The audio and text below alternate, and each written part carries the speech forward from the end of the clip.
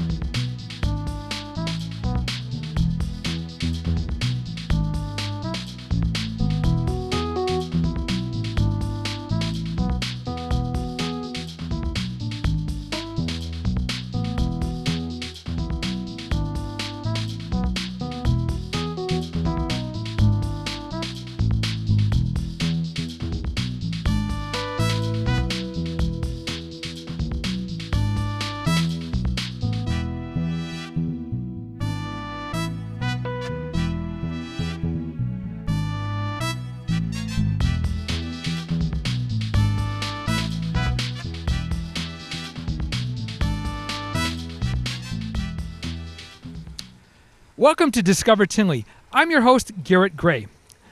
Each and every year for the past 16 years, Tinley Park has put out decorative art benches along Oak Park Avenue from May to October. And this year's theme is prize page turners. So we're going to get up close and personal with some of the artists and their benches today. Hi, I'm here with first year bench artist Dante DiBartolo. Welcome to the show, Dante. Hello, thank you. Well, please tell the audience about the name of your bench and why you chose this as your story. Uh, the, the bench name is House Stark and House Targaryen, and I, I chose it because of the popularity of the TV show. Um, my cousin Bob Renaud called me up and said it would be a great opportunity to, to do something based on the show since it was the last season. And uh, we, we did it based on the, the first book, A Game of Thrones, which is uh, part of the book series A Song of Ice and Fire and uh, we just decided it would be a great opportunity to do something that would get some you know pu- publicity for, for my artwork and do something that a lot of people out in the public would enjoy. And the public does enjoy this. I, uh, as many times as i go past this bench i see people taking pictures on the iron throne here. So come on out to oak park avenue. You get a picture on the iron throne. So dante tell us how long did it take you to to construct this masterpiece? Uh, it was uh, I added up all the hours between me and my, my cousin and his friends. It was all it was about 120 hours total work. Wow, 120 hours. Well, excellent job. Uh, do you want to give uh, a shout out to your cousin's names? Yeah, yeah. Uh, my cousin is Bob Renaud. Um, his friends are Al Jebbins, uh, Terry Nugent, and Tom Liston, and they all helped me with constructing it. Are they all Game of Thrones fans too? Yeah, yeah. Uh, two of them were new. They, they started watching the show when we were working on it, but they're fans now. Okay, awesome. now I, I got to ask, as a fan myself, what did you think? No spoiler, of course. Uh, what did you think of the ending? Oh, the ending, yeah, it had some issues. Uh, I didn't hate it as much as other people did, but so you I didn't can, sign the petition, right? Yeah, yeah. I did. I did share the petition because I knew a couple of friends that did sign that, that did sign it. well, uh, what was one of your favorite characters on? On Game of oh, Thrones? Uh, my favorite character was Arya Stark. I just loved her character, just how uh, how uh, smart and tough she was during the show, and you can kind of see as a kid how she she grew up on the show as well. Oh, absolutely, and she was a fan favorite. Uh, my favorite was Cersei. no apologies for that. Um, but tell us a little bit about the the this concept, how you came up with the d- design to have a dragon and a dire wolf uh, on the bench. Why well, did you choose the those two houses? Yeah, there were there were a lot of houses and and so many characters on the show. It was just impossible to do everything. So I decided to pick the the two main the two main characters that were the good guys. The two two factions were uh, House Stark and House Targaryen, which was. Uh, House Stark, of course, were the were the the main characters with um, Jon Snow, and then House Targaryen was uh, Daenerys. Yeah, and, and it played into the the original book, yep. A Tale of Fire and Ice. Yes. Fire being the House Targaryen, and Ice, Winterfell, being House Stark. Yes, exactly. But, but excellent job. And I, being a first-year artist, is there, was there any surprises to you, pleasant surprises or otherwise, in terms of timetables and? Um, it was actually uh, it actually went pretty well. Uh, I didn't have uh, really any big problems. The, the main thing was is just I was really happy with how the 3D effect worked because we, we we were able to gather up uh, enough wood to you know do all the scales and the, the layering of the heads the way that I was hoping that it would would turn out. Yeah, it's excellent and it's very structurally sound. It's it's well well constructed, well put together. So your art just pops from the street and up close. It looks even better as well. Uh, so, Dante, uh, would you recommend other people to become bench artists in the future? Would you yourself do another bench? Yeah, I would. I would definitely recommend it. It's like most most people, a lot of people, they don't get the chance to uh, express themselves artistically, and let alone do something in, in, the public where the public can enjoy it and appreciate the art. And it always makes makes the neighborhood a more beautiful place. And uh, I would always recommend people taking that opportunity. Absolutely. Well, thank you for help beautifying Oak Park Avenue here in Tinley Park. Thank you. I'm here with an award winning bench artist, Jennifer Lilly. Welcome to the show, Jen. Thank you for having me. And how many benches have you done? Oh, I don't know. Mid 30s somewhere. Mid 30s. That's pretty good. And tell us about your new, latest, and greatest creation here. Uh, this is my Hunger Games bench. Um, I wanted to depict something uh, that a lot of people knew that uh, made a statement. Absolutely. And uh, this is obviously uh, Jennifer Lawrence as Katniss, and I see there's mixed materials on uh, Jennifer Lawrence's character. Can you explain to the audience what those materials are? They're washcloths. Washcloths. You, you use what you can find and what is readily available. It looks like an armored uh, suit here, but yet it's a common kitchen household uh, item. Right. Um, and what about this? This uh, you have a little bit of a. Uh, it looks like GeoGrid. I'm not even sure what it is. I found it in my dad's garage, and it had the look that I wanted, so I used it. Excellent. Well, one thing that shocks me about your bench that I did not see just driving by, I had actually get up, up close and personal, was that you actually have pages of the book burnt and also on, t- on the bench. How did that come about? Um, the theme was books this year, and I thought it was really important that part of the book actually be on the bench. So the burning part kind of goes into the story. Absolutely. I'm not going to spoil anything for people who might haven't read them yet. But I thought it was important that the pages be on it. Yeah, they, so you can read the book or just come here and read the, the pages on the bench. Um, but excellent artwork uh, as always, and you have some great portraits on the side boxes too. Can you explain to the audience uh, some of those characters that you did portraits of? Um, well, obviously, I have Katniss, and then I have the two love interests on the front, and um, Effie on one side and Haymitch on the other. I thought it was important to get as many main characters on the book on the bench as I could. Excellent. Yeah, and you did. It uh, uh, really good likenesses to the characters. Elizabeth Banks. Uh, it, it's pretty cool. So come out and check it out. What was the challenge this year of doing? I know you did two benches. We're going to get to that bench later on in the show. What was the challenge doing uh, the benches uh, with the weather this year? Uh, the weather is always an issue. We work outside, and it was very cold and wet. We had snow. So I worked inside as much as I could, and some of it just had to be left to the last minute. And so you wait for those few good days and you pull it all together. So, how many hours did it take you to, to work on this bench? Uh, I don't even know. uh, I try not to think about it, I just keep going forward. Excellent. Well, Jennifer, it's a great masterpiece, and we're going to take a look at another one of your benches later on in the program. My next artist is no stranger to the bench program, having done over 40 plus benches here for Tinley Park. Please welcome to the show Nick Shulian. Welcome, Nick. Well, thank you. So, tell us a little bit about your bench today. What's the theme, if you can't see already? it's Dracula, and um, I've been, I've been doing a lot of benches that are bright and cheery, and I thought, well, we've got to try something new. So I, I went for gloom um, and tried to carry that through so that people could see something different. It is pretty ominous. I've drove past on Oak Park Avenue when at nighttime when the glow of the lamp is on it, and it is pretty ominous. But a great, great uh, book, Dracula, done by Bram Stoker. Uh, it's enduring. There's so many vampire shows and, and movies.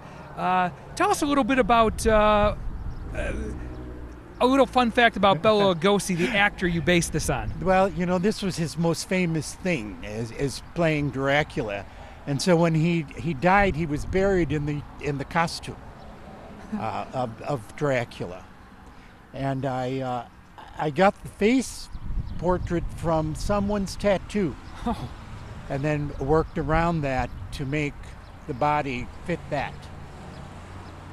Now, Nick, you were telling me earlier that, and I, and I know this from uh, your past work, you work exclusively outside. How was the challenge of working outside this winter with a polar vortex, snowing in April, and all of the above? Well, it was really, uh, really bad as far as rain goes. So uh, I, I don't like working in the house, but I did with the boxes. The problem is that when I brought the boxes out and put them on the bench, they didn't match because I didn't work with the same colors. So I had to pull colors from the bench back into the boxes so that they could all work together. Well, it looks fantastic, and I, I love, I love the castle, Dracula's castle here. And when you, it looks great from the street, but when you come up, you can see all the the, the details, and it looks even better. Um, speaking of some of the details, the side box also has some uh, Dracula references that are not the Bela Lugosi picture. Can you explain that? One is uh, on this side is the uh, silent version, silent film version of uh, Dracula. So it's a silhouette. Um, it's usually done in black and white, but I added a little color to it. Uh, but it is uh, just as creepy. yeah, absolutely. and you got to check the backs out of these benches. Uh, tell the people, Nick, what's on the back of the Dracula bench. Well, this bench is painted black, but it has a face, uh, a face that's about six feet wide and about three feet high, of just the eyes of Dracula. So that uh, it, it's just another eerie thing I tried to do. Excellent, Nick. Another masterpiece. Thanks again Oh, you're welcome. for being on the show. You're welcome. My next guest is Catherine Trezick. Welcome to the show, Catherine. Thank you. Thank you. So tell us about the bench you did. What's the book you based your bench on? Huckleberry Finn by Mark Twain. That's a good book, uh, a prize page turner. And what made you choose Huckleberry Finn? I like the theme of the story about freedom and friendship. Excellent. And what's the what's the official name of your bench? Venture down the river. Okay, excellent. And I see you do have uh, the ben- uh, the bench is built to be look like a raft, and you got uh, Huck Finn and Jim on, on the raft there. And I see you got some woodland creatures uh, on your bench as well, especially the rabbit. Check out these side benches. The rabbit is excellent. Thank you. It's all a part of the story. The rabbits in the story, every item on the bench is part of the story. What's the knife represent? The knife is one of the items. All those items over there are things they found on the island, and they're all useful items Excellent. for survival. Now you're a first year bench artist. Yep. So how was the learning curve this first year as a bench artist? There was a learning curve. I do oil paintings, and I had, did this in acrylics. So there's a difference from acrylics to oil painting from 2D to 3D. So I had to make some adjustments. Excellent. Well, it turned out really, really nice. And how long did it take you to work on your bench? It took two months, and one of the reasons was because I'm working in an unheated garage, and we had a lot of cold days, so Wow. I had to work in between those cold days. Yeah, I'd say that's an understatement. With po- a polar vortex, we had a lot, a lot of unseasonably cold days. for sh- Cold, rainy, you know. all of the above. Right. I, I agree. Now, I learned that you recently read Huckleberry Finn Right, as an adult. As an adult on a Kindle, not on a paperback book, but on a Kindle. The new age. and uh, so obviously this was at the front of your mind when you when you chose Huckleberry Finn, and it's a very popular book because there's they've done so many movies and TV shows regarding Huckleberry Finn, and a lot of other Mark Twain stories as well. Um, so it's a great topic for a prize page turner. And how does it feel to be a first year bench artist? It is fun. It was an adventure, and everything was new, and we didn't realize how heavy the bench would be. And my husband helped me um, pick it up. He helped me do priming, little things like that. Excellent. so Um, he gets like uh, uncredited credit there. Yeah, he gets credit. He helped criti- critique my work. You know, well, maybe change that a little bit, or so. He was very helpful. He's Either very way, supportive. it turned out great, Catherine. Welcome to the Bench program. Would you recommend other artists to become part of this program? I would. If you love to do be creative and you like to try something new, it's fun and rewarding. Well, thanks again for being on the show, Catherine. You're welcome. Thanks for having me. I'm here with first year bench artist Rick Villarreal. Rick, welcome to the show. Thank you. Nice to be here. Tell us about the book you chose. Well, um, I had a few choices, but um, I wanted my kids to be involved with this also. So as I was reading a few different titles, my son was like, "Hey, pirates, Treasure Island." That's Uh-huh. the first thing that came to his, uh, to his mind. So um, I just ran with that. Excellent. Yeah, and w- there's no quintessential pirate book than Treasure Island. It has the the the pirate with the parrot on and the one leg, Long John Silver. Right, so right. a classic. Now, Rick, tell us a little bit about your artwork. This looks airbrushed. Correct. Um, so what I try to do is uh, bring it up, uh, update it a bit, you know, make it a little fun. Um, and I figure I'd use my strongest skills, which is airbrushing. Um, so that's what everything is done with an airbrush. Um, I brought in some tattoo kind of elements. I'm also a tattoo artist, so that's why I brought in some of this old school wave Sailor Jerry type of artwork here, along with the map in the background there, as you can kind of see, kind of faded back Yeah, there. it, it looks awesome. And so you're a tattoo artist. No Correct. wonder. I mean that that skull. If you come here on Oak Park Avenue in Tinley Park, you'll see how it just simply pops from the street. And I see you got the octopus too. Is that was that one of your kids' uh, suggestions? Yeah, you know, I took some of their suggestions. Uh, there was a lot of other stuff they wanted to throw in there. My daughter wanted to throw in some mermaids and Little Nemo and all that stuff. So it was getting out of hand. Uh, so I had to rein them back in. So, um, but I did add some uh, fun elements like this movable wheel here, so that kids Oh, can wow. come and like have some fun. It's kind of interactive too. So Cool. And I heard that you found out that you got accepted to the bench program when you were at Treasure Island at Disney World in Florida. Yeah, that's correct. We're out in Florida. uh, I didn't have any um, uh, thoughts that I would be accepted, and uh, when, while I was out there, I got the notification that hey, we accepted your design and uh, go for it. So I'm like, I, it was, it, it's a, it's an honor, um, a great surprise, obviously, but um, yeah, it was not expected. So Rick, I got to ask, how was it like when you drove your kids past your bench? It's fun because um, the first time when I saw it, I was more excited than them. I think, um, and then when they saw, because they, they they were in my shop, you know, helping me, uh, supporting me, of course, and um, they saw it out here on, on the on the on the sidewalk here. They they got really excited, like Daddy's bench, Daddy's bench, and so um, it's it's an honor, and I'm very proud, and um, I'm, I'm happy as an artist to give back. So Absolutely. it's a- Would it's you do the bench program oh, again? Definitely. Would you recommend it to other artists yes. to get involved and be a part of the community yeah, here I in mean, Tinley Park? it- it's fun. Um, y y there's no uh, real um, egos floating around, you know. So it's just you're, you're having fun. It's good to give back, um, and then have people enjoy your artwork. It's just, it's an awesome feeling. So, Absolutely. Well, thanks for being part of the program, well, Rick. thank you, thank you. I'm here with first year bench artist Tyler Stuckert. Tyler, welcome to the show. Glad to be here. Appreciate it. So tell us about your bench. What's the name of your bench? The bench is the Charlie Brown bench. Uh, features Linus and uh, Sally, Charlie Brown, and of course Snoopy. Yeah, I see Snoopy is uh, dressed as the Red Baron. Yeah, it's uh, all-time favorite Halloween special, the Great Pumpkin. So we had to include him. Absolutely. So why did you choose Charlie Brown as your theme this year for your bench? Uh, it's uh, kind of a family-oriented. Uh, you know, growing up, we uh, read the Charlie Brown books. We watched the specials, and it would just uh, it's just a uh, chance to bring it to all the kids and uh, families that might not have a chance to read the books or watch the specials. Absolutely, and they're so popular. They've been enduring uh, before my generation, and I'm sure there- it's going to endure for generations to come. I remember going to the library at my grammar school to check out the Charlie Brown books. Um, so tell us a little bit about the process of doing a bench. Uh, how long did it take you to finish, and uh, were there some surprises that you weren't expecting as a first-year artist?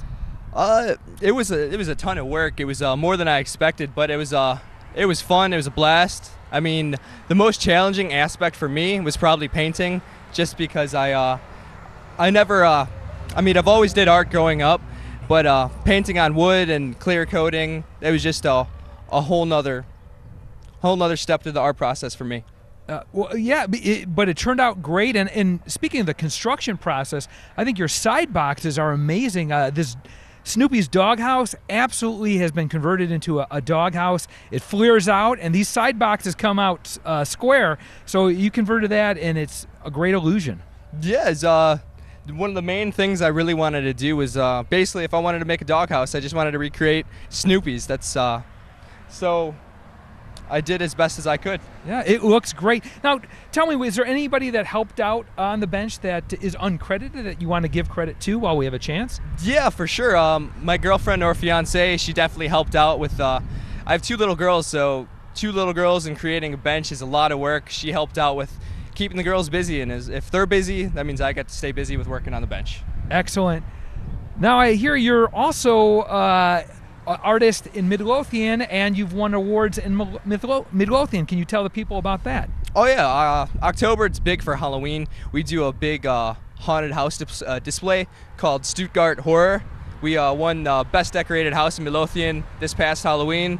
We do tons of wood props and uh, decorations and all that. Hopefully we'll uh, we'll be in for it again uh, this upcoming Halloween. Excellent, Tyler.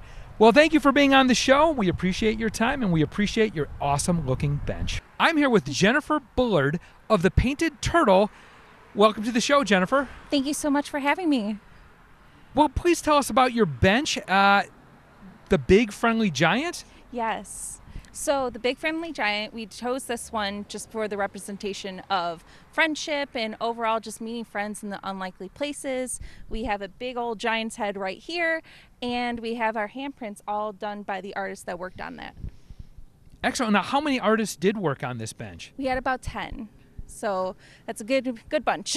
yeah, that is quite a bit uh, to coordinate on uh, the real estate of a bench. There's not so much space to, to have all those artists work, but it came out fantastic. Thank now, you. how did you guys come about choosing this theme, the Big Friendly Giant? So what we did is we actually had two options. We had Lord of the Rings and the BFG, and we took it to a vote. So all the artists that wanted to work on it, they all voted, and BFG actually won. So, Excellent. Well, n- two good choices. I, I am a sci-fi guy, so I do like Lord of the Rings, but this is pretty good, and it's an enduring story. They've done movies on it. And could you tell the people a little bit about the story and the meaning behind the story? So the story starts off with a girl that is in an orphanage, and she ends up falling asleep. She sees this giant, and he ends up whisking her away into this dreamland. And all the while, she's very scared, but ultimately they become really good friends. They learn about the power of friendship and also meeting unlikely people and becoming friends that way. So that's ultimately why we chose it. It's very endearing. The movie was awesome, so book was even better. You're right. And the book usually is better than the movies. and as you mentioned, there's a great moral behind it, not judging mm-hmm. a book by its cover. And could you tell us a little bit more about the Painted Turtle and the artist at the Painted Turtle? So the Painted Turtle is actually an art studio for adults with intellectual disabilities. So they come here and this is their job. They earn an income selling out their art. They make all the art in the studio and then we go out and sell it for them. So this is really their job and their passion. So thi- making the bench was really fun for them. And this is their third bench, I understand, that the Painted Turtle has done. Correct. And your second bench overseeing. how was it? How was it like the second time around, Jennifer? It was very fun. Um, we had a whole different crew that worked on it, so it was a lot of fun seeing their take on the BFG. They actually sculpted all this. Um, I just kind of orchestrated, like, okay, this is going to go here, here, and they really just brought it to life. Excellent. And was it easier the second time around? A little bit, yeah. Less hectic, I'm sure. yes. Well, Jennifer, thanks for being on the show and Thank you. continued success to the Painted Turtle. Thank you so much for having me. Well, just walking back down Oak Park Avenue, we ran into Nick Shuglin again with one of his other masterpieces this year, Up. Nick, welcome back. Well, thank you. So, what made you choose Up as a story to display this year with the benches? Well, I thought it's uh, uh, exciting. It's it's bright. Uh, I had the challenge of making balloons like that look like they're floating, uh, and it's in contrast with the Dracula bench I did. It's a complete opposite. Yeah, uh, So Amen. It's more colorful, le- more up, and less Yeah. ominous. Um, but tell us about those balloons. I see all these colored cups now. Are those initially colored that way? no, they they were clear cups I got at the dollar store, and then I spray painted them, uh, and then glued them all on. Yeah, they So- look excellent. I, I I thought they were their original color, but that's all spray paint. And what's behind the bowls? It's a uh, foam. Uh, uh, I forget the name of it though, but it's Yeah. a foam that is like uh, to fill cracks, and so it you can see it's uh, coming out from behind some of them now. Uh, but it holds them on. I didn't have to glue them on. that was enough to hold them in place. So, uh, and I had to do it all laying down and then putting it up. So I wasn't sure exactly what it was going to look like at that time, Or if it would stay up, maybe. or if it would stay up. Yeah. But you always use materials, and you're so good with using mixed materials. I see even the old gentleman from Up has white hair you could actually brush with a comb. Yeah. Uh, you, you told me this was a leftover from another bench Yeah. that you did. I did uh, Snow White with uh, all seven dwarfs with beards last year, and this was left over, so that uh, you know I usually save those things and figure out what I can do with them. So that's what I did with this. Well, it's good to conserve and recycle your materials. And then again, Nick, your painting is always on spot. These look totally like the characters that I see on TV. Uh, and which one is your favorite to paint? Or was your Uh, favorite to paint? He he was he was the most difficult Why is that? because of all the little circles and uh, Oh, uh, you know the horn and uh, backpack and. Uh, but he, you know, it was a challenge that I enjoyed. So well, I've seen a lot of people sitting on the bench enjoying it. So thanks again, Nick, for contributing to you're the bench program. you're welcome. We're back with Jennifer Lilly at her next bench. Jen, can you explain to the people uh, what this story is based on? Uh, this is a book titled uh, A Fish Out of Water. It's about a little boy who gets a fish and is told to only feed him so much and doesn't listen to the rules. And his fish grows and grows and grows. a kid not listening to the rules, who would think? Um, but I, your bench is amazing. In fact, uh, it reminds me of those those older books that were done in like monochromatic colors.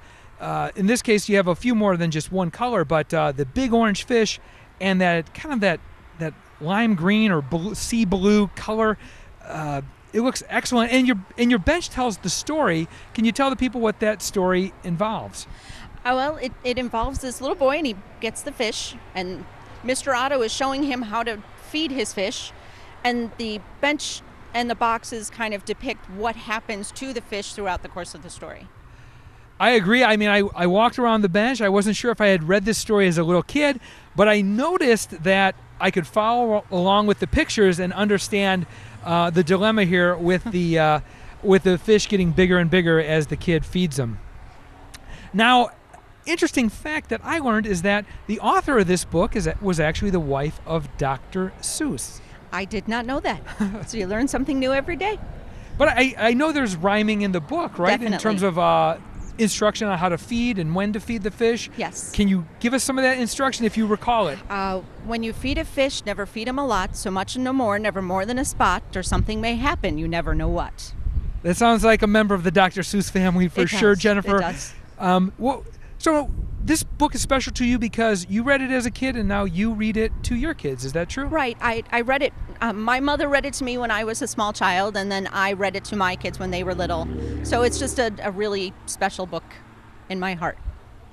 Well, that's good. And how long did it take you to work on this bench compared to, say, your Hunger Games bench? Uh, well, this one is a bit simpler, so it didn't take quite as much time, um, but it was a lot of fun to do. I really enjoyed doing this one. What did your kids think of the bench when they saw it? They thought it was pretty neat, reminded them of their childhood. Thanks for your contribution to the program all these years, having great bench after great bench. Continued success. Thank you. Well, that's our show for this month. Thanks to all our artists for being on the show. And if you want to meet the artists, come on out to Harmony Square on August 10th to meet them at 6 p.m. Thank you for watching. We'll see you next month.